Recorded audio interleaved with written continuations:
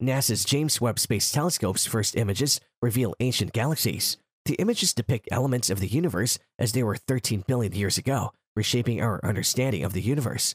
NASA has released an image of distant galaxies 13 billion years ago, the first glimpse from the most powerful telescope ever launched into space, which promises to reshape our understanding of the universe's birth.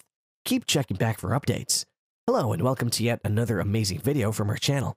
But before we continue, don't forget to hit the like button, subscribe to the channel if you haven't already, and ring the notification bell to be notified whenever a new video is released. The light from many different twinkling galaxies, among the oldest in the universe, has been captured in sharp detail by the James Webb Space Telescope, or JWST, in the small slice of the universe known as SMACS 0723. Joe Biden, who unveiled the image at a White House event, described the moment as historic, adding that it provided a new window into the history of our universe. It's difficult to comprehend, said the US president. It's incredible. It's a watershed moment for science and technology, for America and for humanity as a whole. NASA Administrator Bill Nelson said the image showed galaxies light bending around other galaxies for billions of years before reaching the telescope. We're looking back more than 13 billion years, he said, adding that more images to be released by NASA would go back even further to around 13.5 billion years, close to the estimated beginning of the universe itself. We're almost back to the beginning, he explained. The image is a preview of a series of high resolution color images from JWST that'll be unveiled by NASA on Tuesday. According to Nelson, they will include the deepest image of our universe ever taken. According to experts, the telescope, which has been in the works for three decades and was launched last year, could revolutionize our understanding of the universe by providing detailed infrared images of the universe. The $10 billion telescope can peer inside exoplanet atmospheres and observe some of the universe's oldest galaxies by using a system of lenses, filters, and prisms to detect signals in the infrared spectrum, which is invisible to the human eye. According to Marcia Rieke, professor of astronomy at the University of Arizona, the system has performed flawlessly thus far. But looking for galaxies that are so far away that light has taken many billions of years to get from those galaxies to ourselves, said Jonathan Gardner, deputy senior project scientist at NASA, during a recent news conference. Because the Webb is larger than Hubble, he can see fainter galaxies that are further away. The telescope, a collaboration with the European Space Agency, has been in development since the mid 1990s and was launched into space in December. It is described as the most powerful telescope ever launched into space and is currently about 1 million miles from Earth, scanning ancient galaxies. The project's initial goal was to see the first stars and galaxies formed after the Big Bang, to watch the universe turn on the lights for the first time, as Eric Smith, Webb's program scientist, put it. According to U.S. Vice President Kamala Harris, the telescope should be regarded as one of humanity's great engineering achievements. The entire observatory is performing astonishingly well, said Gillian Wright, director of the UK Astronomy Technology Centre in Edinburgh and principal investigator for the JWST's mid infrared or MIRI instrument. It's difficult to believe how fantastic it's turned out to be. It's absolutely incredible. According to NASA, JWST will observe five initial cosmic targets, including the Carina Nebula, a type of celestial nursery where stars form. The nebula is about 7,600 light years away and contains many massive stars, several times the size of the Sun. Other areas of interest include WASP 96b, a giant gas filled planet outside our solar system, the Southern Ring Nebula, an expanding cloud of gas surrounding a dying star 2,000 light years away, and Stephan's Quintet, the first compact galaxy group discovered in 1877. NASA will release images of these targets on Tuesday. It's exhilarating to see the fantastic James Webb Space Telescope image released today, said Richard Ellis, a University College London professor of astrophysics who was part of the committee that first conceived of the telescope.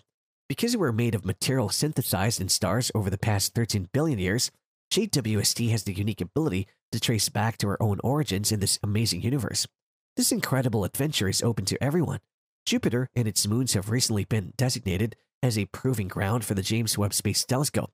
The new observatory will face challenges from the system's hidden oceans, complex rings, and hidden volcanoes.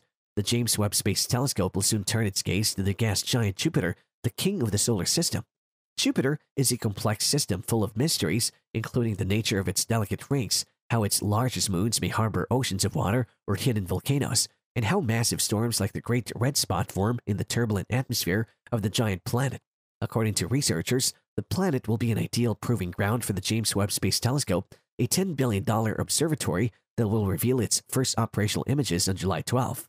In a 2020 consortium statement, study co-leader Imke de Pater, a planetary scientist at the University of California, said of Webb's upcoming Jupiter studies, it'll be a really challenging experiment.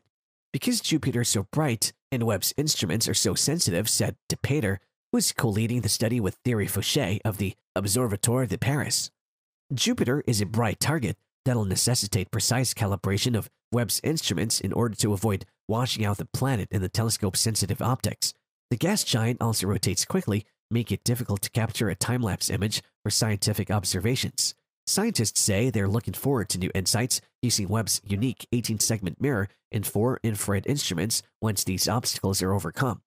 Atmospheric studies will take center stage. For example, the telescope will examine the winds, clouds, gas, and temperatures of enigmatic cyclone storms in the polar region, which are also being studied by NASA's Juno spacecraft. Webb will also examine the atmosphere just above the swirling Great Red Spot, which exhibits unexplained temperature fluctuations. For example, the atmosphere just above is much colder than other zones of Jupiter. In the future, the team hopes to discover new moonlets in Jupiter's rings. According to officials, this will be especially difficult because the planet's bright light will wash out the faint ring system composed of tiny and sparse dust particles. Strategies for dealing with this issue may aid future exoplanet observers using Webb to detect faint worlds near bright stars. Then there are Jupiter's large moons to consider. This first set of research will look at icy Ganymede and volcanic Io to learn more about how these worlds formed and changed over time. According to the researchers, Webb will photograph Ganymede's outer atmosphere in order to better understand the moon's interaction with particles in Jupiter's magnetic field. Webb will also investigate the possibility of a saltwater ocean beneath Ganymede's surface. Low will be investigated for stealth volcanoes, which researchers believe are erupting without scattering any dust particles that would better reflect light for telescopes to see. On the other hand, Webb has higher spatial resolution than previous Jupiter missions, including Voyager and Galileo, allowing it to detect stealth volcanoes as well as hotspots. The high temperature concentrations on Io's surface may be similar to those seen with Earth's volcanism, but more research is needed to confirm Galileo's observations from the 1990s and 2000s. The telescope will also investigate Io's temperature structure, which is currently unknown due to a lack of data on the temperature at various altitudes of the moon's atmosphere, according to the statement. As the Webb focuses its telescope on Jupiter from deep space, observatories orbiting closer to the planet will assist. For example, Webb's long-term view of Jupiter's atmosphere, for example, will provide valuable context for the Jupiter orbiting Juno.